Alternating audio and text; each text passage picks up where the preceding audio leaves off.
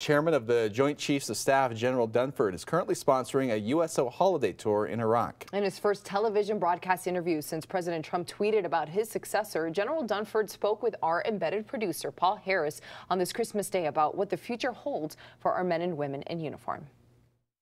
In Camp Taji, Iraq, the chairman of the Joint Chiefs of Staff, General Joseph Dunford, takes the stage to rally U.S. and coalition forces before a USO show. Your Iraqi partners still need your support. They still need your training, advise, and assist, and that's what we're going to provide every day, right?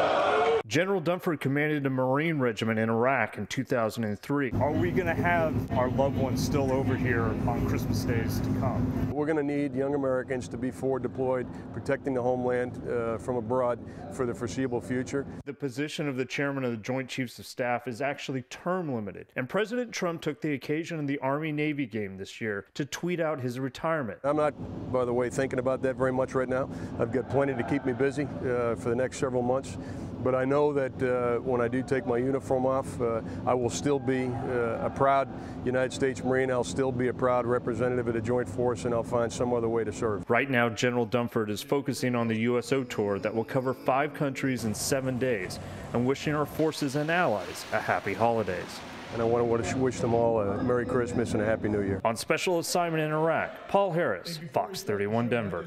Yeah, Paul's been doing some great work over there. If you haven't seen his entire tour, he's gone to some amazing places over the past week. These stories are all on our website. And a Merry Christmas to Paul if you're watching yeah. us from all the way across the world. So. Afghanistan at last check, yeah. I think he was in.